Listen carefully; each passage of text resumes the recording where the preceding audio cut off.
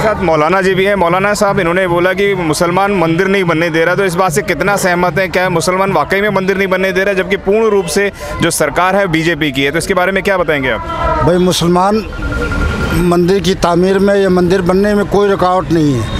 बल्कि ये बीजेपी और आरएसएस का ये मिला जुला खेला है। जी। बीजेपी सिर्फ़ जो है वोट की सियासत कर रही है और राम मंदिर के मसले को ज़िंदा रखना चाहती है ताकि उनको उनको वोट मिलता रहे। और हालाँकि देखा जाए तो मंदिर मस्जिद का कोई ऐसा मसला नहीं है।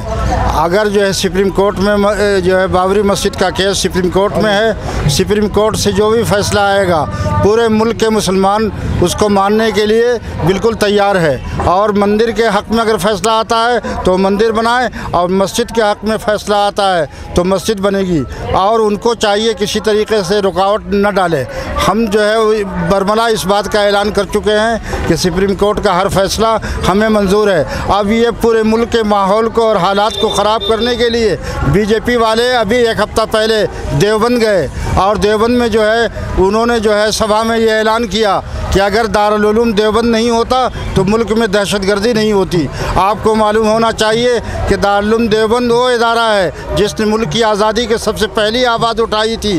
दारुल ने मुल्क को आज़ाद कराया। अगर दारुल देवबंद नहीं होता तो ये इन, इनको जो है मोदी जी को या योगी जी को यूपी में और दिल्ली में हुकूमत करने का कभी ख्वाब शर्मिंदा ताबीर नहीं होता। इस मुल्क को जिस इदारे ने और जिस दारुल ने आज़ाद कराया है उसी दारुल के बारे में या ऐसी उल्टी सीधी बकवास कर करके मुल्क के हालात को ख़राब कर रहे हैं। और मुल्क की फ़िज़ा को बिगाड़ना इनका सिर्फ़ मौला, आप मौलाना हैं आप एक बात बताएँ पहले हिंदू लोग ईद को भी बहुत अच्छे से बनाते थे और मुस्लिम लोग दिवाली को भी बड़े अच्छे से बनाते थे तो अब क्या फ़र्क आ गया है? उसके बारे में बताएँ आज देखिए ये इस, इस मुल्क में असल है गंगा जमनी तहजीब कि इस मुल्क में सदियों से हिंदू मुस्लिम भाई भाई की तरह रहते हुए आए हैं। इस मुल्क में जब अंग्रेज़ था अंग्रेज़ काबिज हुआ तो मुसलमानों ने और हिंदुओं ने आपस में मिल करके दोनों ने मिल करके मुल्क को आज़ाद कराया। और आपको मालूम होना चाहिए महात्मा गांधी को सबसे पहला महात्मा खताब मुस, का खताब मुसलमानों ने दिया है। और आज़ादी की लड़ाई में जो है गांधी जी को मुसलमानों ने आगे बढ़ाया है। मुसलमान हिंदुओं के त्यौहारों में आज भी जाते हैं कल भी जाते रहे हैं। और ये और हमारा मकसद भी यही है कि इस मुल्क में सदियों से जिस तरीके से हम रहते हुए आए आए हैं उसी तरीके से रहें। बीजेपी और आरएसएस वाले अपनी आदतों से, अपनी फितरत से बाज आ जाएँ और दो कौमों में नफरत की बीज बोना बंद करें तो ये मुल्क जो है जन्नत निशान बन जाएगा। वरना ये आरएसएस और बीजेपी इस मुल्क को जहन्नम बनाना ये दोनों पार्टियाँ बनाना चाहती है। कम अज़ कम इससे गुरेज करे। आप खुद सोचिए कि बाबरी मस्जिद को जो शहीद किया है, बाबरी मस्जिद जो मुनहदिम हुई है, इससे बाबरी मस्जिद की तोहन नहीं हुई है, मुल्क की तोहन हुई है। और ये मुल्क के आइन की जो धज्जियाँ उड़ा रहे हैं, ये मुल्क की आइन की सुप्रीम कोर्ट की तोहन है। कम मुल्क की सालमियत और मुल्क का वक़ार जो है मजरू हो रहा है। पूरे दुनिया की नि- निगाहों में इस मुल्क का सर जो है शर्म से झुक गया है। हमें चाहिए कि हम इस मुल्क की सालमियत को, इस मुल्क की जमहूरीत को और यहाँ के आइन और कानून का एहतराम करें और एक अच्छे शहरी की तरह भाई भाई की तरह जैसे पहले रहते हुए आए हैं, उसी तरीके से आज रहें तो किसी तरह का कोई मसला नहीं होगा। मुल्क तरक्की करेगा।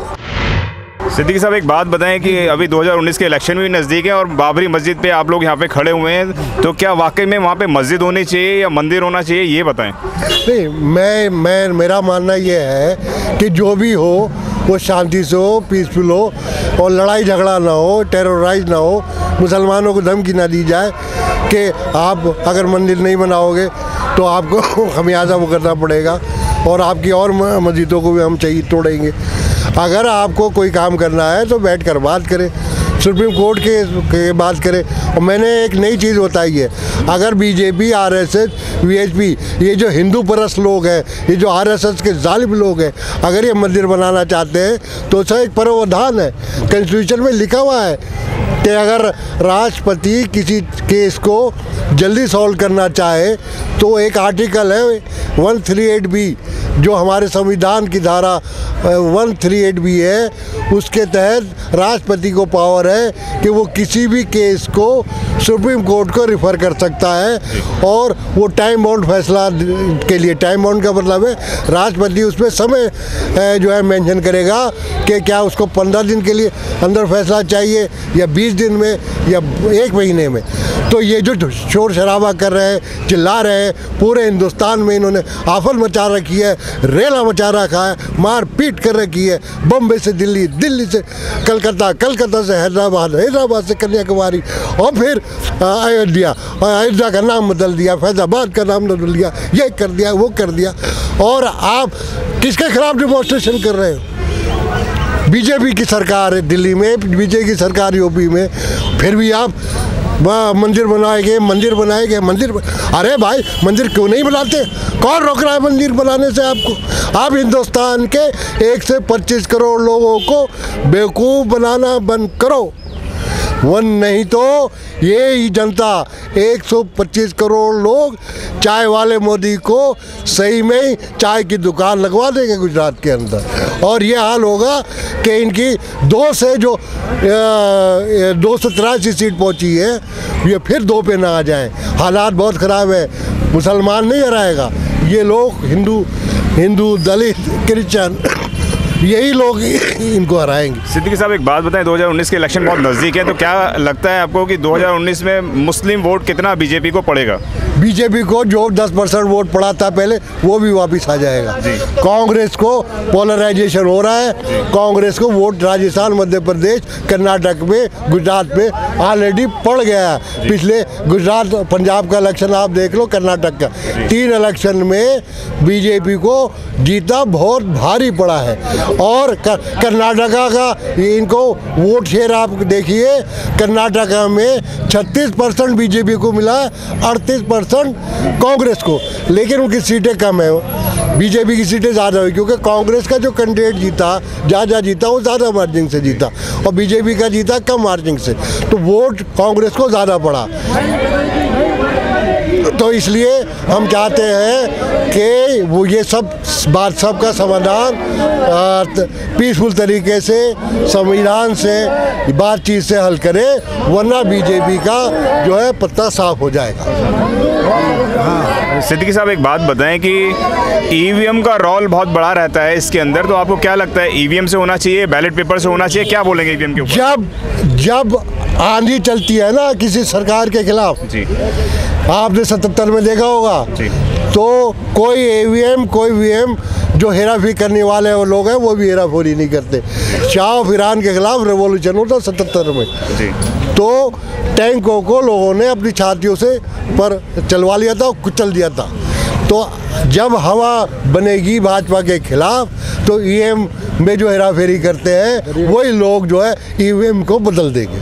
2019 के चुनाव को कहाँ देखते हैं आप? बिल्कुल पॉजिटिव एंटी बीजेपी मैं ये नहीं कहूँ anti BJP anti anti RSS VHP और बजरंग दल।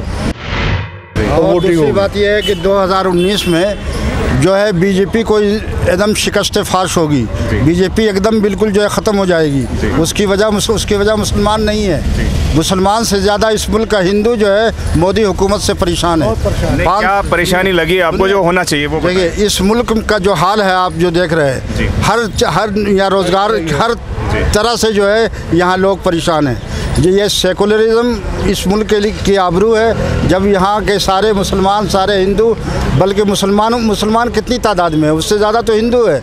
हिंदू परेशान है उनका कारोबार ठप है पैसा नहीं है। कारो बिज़नेस ख़त्म है और हर चीज़ ख़त्म है। तो इस मुल्क पर जो है मोदी एक लानत बन करके मुसलत हो चुका है। या तो मोदी को हटाने के लिए मुसलमानों से ज़्यादा इस मुल्क के सेकुलर आवाम जो है बिल्कुल हमें 2019 में मोदी को गुजरात वापस भेजने के लिए पहले तो चाय बिल्कुल तैयार है। अच्छा दूसरी बात यह है आप थे हमारे साथ मोहम्मद सिद्दकी साहब और मौलाना साहब जिन्होंने कहा कि मंदिर बने चाहे मस्जिद कुछ भी बनने दीजिए सुप्रीम कोर्ट का इंतज़ार कीजिए।